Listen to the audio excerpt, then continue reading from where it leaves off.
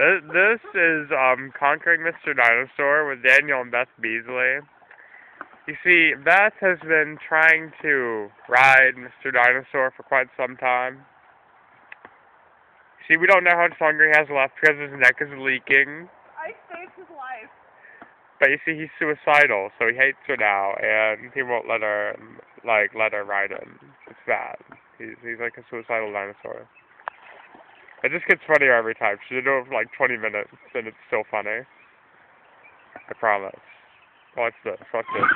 Oh, into the water. Oh, she flipped the dinosaur.